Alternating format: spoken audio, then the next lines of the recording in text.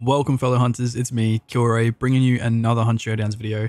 Uh, in this one, we'll be going over the best traits to have as a solo hunter in-game, but before we do jump into it, I just want to say if you do enjoy the video, be sure to smash that like and subscribe button to help push this content out to more viewers like yourselves, and also we are trying to reach 10,000 subscribers by the end of the year, so uh, let's make that possible. Anyways, enough messing about, let's get into this.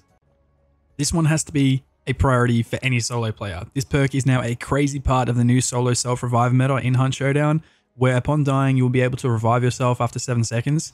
After getting back up, you will lose 50 health, allowing you to die and get back up a few times. Now, the interesting part is that most people don't trap you once they've killed you. They'll just simply run off and carry on with the objective, but little do they know, you can self-revive and you can potentially kill them from behind or at least, you know, carry on with the game. Arguably one of the best and most hated traits in game, fanning allows you to fire single action pistols in quick succession, making pistols like the Caldwell conversion chain into a machine gun that is capable of firing 17 shots without needing to reload. Now, it does however come at a cost of being pretty inaccurate, so make sure you're nice and close to the target before you start shooting. This perk makes going up against duos and even trios that much easier as you're able to fire a lot of bullets in a small amount of time, catching most hunters off guard with little to no way to counter this amazing trait.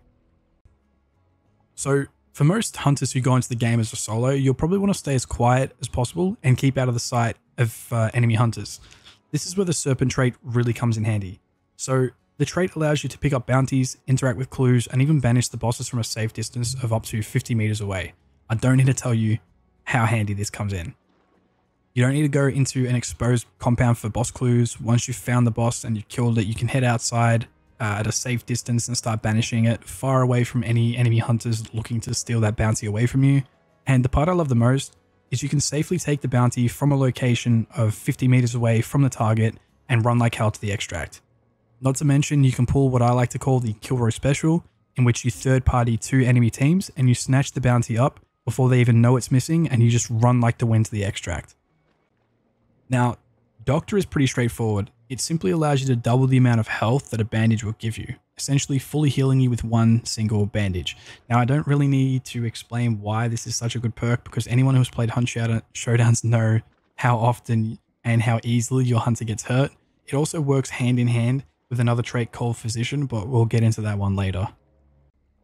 Conduit is another solid trait for any solo player. You get a health and stamina boost when picking up clues and bounties. Now, I'm not too bothered about the health boost. I'm all about the 5 minute stamina buff that stacks with each boss clue you pick up so you don't have to waste any inventory space on stamina shots. Now, stamina is a huge part of the game and not needing to worry about it, um, about stamina running out in the middle of a melee fight or even when you're fighting the boss is a big plus in my book. So this trait is pretty straightforward. It reduces the time it takes your hunter to use bandages. Now, this is where the doctor trait and the physician work hand in hand.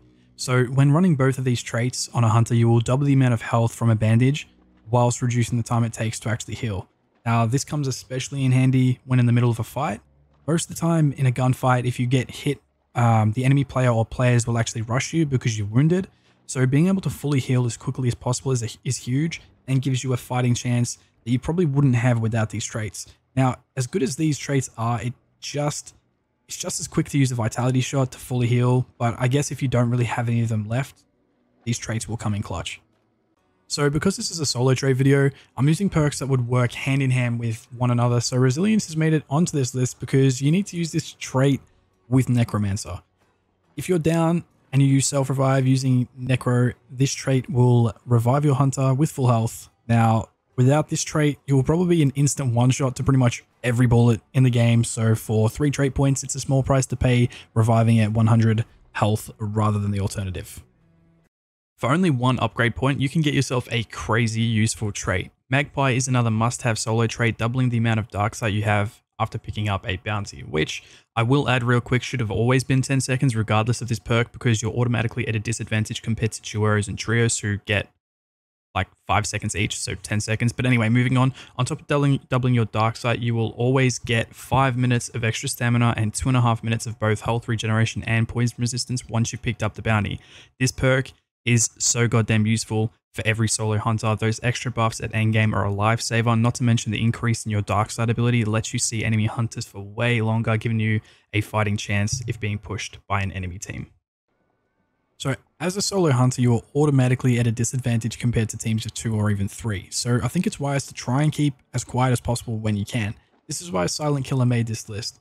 This trait reduces the sound a melee attack makes, which comes super in handy, especially because you're going to be taking out a lot of grunts and other baddies throughout the game. Another added benefit is that if you're trying to uh, if you're trying to silently approach an enemy team during the banishing of a boss, taking out the surrounding mobs won't give you position away. So Hunt Showdown's maps are pretty big and filled with countless objects and buildings that you may need to jump from or even scale using the provided ladders. Now this is where Lightfoot comes in handy. Lightfoot allows your hunter to vault, jump, fall, and climb ladders silently, making this super useful to have. The element of surprise is a good thing to have, especially as a solo, so being able to run around without making crazy amounts of noise is pretty important, I think. Um, this perk also allows you to sneak up on enemies hiding in buildings or even make fast effective rotates uh, to get a better shot on your enemies and all the while being silent is a pretty great ability to have in Hunt Showdowns, I reckon. So uh, yeah, Lightfoot. Alrighty guys, that's it for our solo trait guide in Hunt Showdowns. If you enjoyed, be sure to smash that like button. And if you agree or you have any other great solo traits, be sure to let us all know in the comment section down below. And if you haven't already, hit that subscribe button and turn notifications on so you never miss another upload for the channel. And until next time guys, take it easy. Peace.